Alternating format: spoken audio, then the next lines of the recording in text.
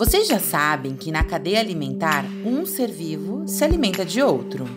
E para sobreviver, todos precisam encontrar alimento e evitar servir de alimento para outro ser vivo. Algumas estratégias podem ajudá-los a obter sucesso na busca por comida ou para evitar serem capturados. Parecem até ter superpoderes.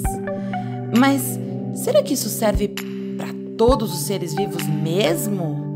A planta, por exemplo, não se move. Logo, parece não ter a capacidade de se proteger dos seus predadores. Na verdade, elas também têm as suas estratégias para se defender.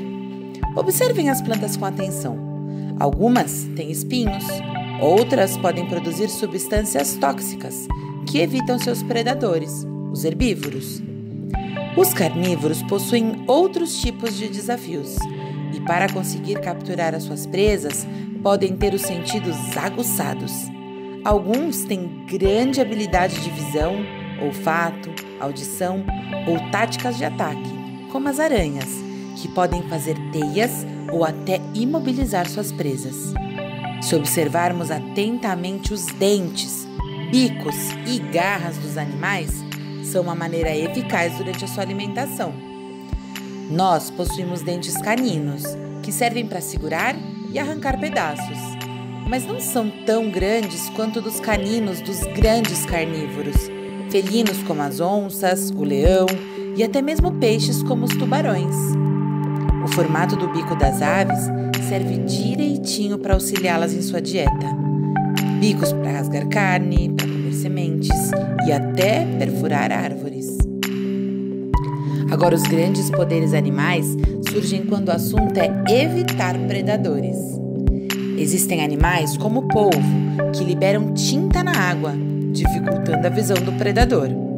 Os ouriços têm espinhos duros e pontudos e se movimentam quando se sentem ameaçados. O ainda baiacu, que quando percebe o perigo se infla todinho, parecendo uma bola de espinhos. Tem também uns animaizinhos bastante espertos, que são capazes de se camuflar no ambiente. Isso mesmo, praticam a camuflagem.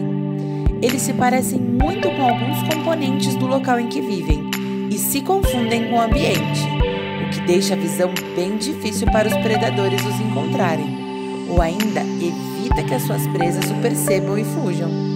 Alguns são tão bons nisso que nem olhando muito bem conseguimos encontrar, como é o caso do bicho-pau, bicho-folha e o polvo. Porém, existem animais que de longe avisam seu perigo e ninguém precisa ficar procurando. Logo vemos as cores vibrantes de advertência, como é o caso de algumas espécies de sapos. Agora, você já viu aqueles mímicos que, quando menos percebemos, estão imitando tudo que nós fazemos? Alguns animais também têm essa habilidade. Eles praticam o mimetismo. Eles imitam outros animais e assim evitam que os predadores os ataquem, pois imaginam que sejam outros animais, bem mais perigosos. É o caso da cobra falsa coral, que é muito parecida com a coral verdadeira, mas sem o veneno. Se olharmos para vários animais diferentes e perguntarmos qual deles tem o poder mais adequado para sobreviver? Ou seja, quais possuem as melhores características de todas? O que, que você diria? Na verdade, não existe o mais ou menos adequado, a melhor ou a pior característica. Cada um deles pode ter um tipo de característica que o ajuda a sobreviver no seu ambiente natural específico. Imagina que essas características surgem com os animais e podem ajudá-los a ter mais chances de sobreviver.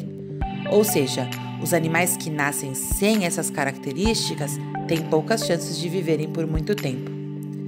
Da próxima vez que sair por aí, observe os seres vivos com olhos diferentes e você também perceberá que eles realmente são super poderosos. Até a próxima! Tchau, tchau!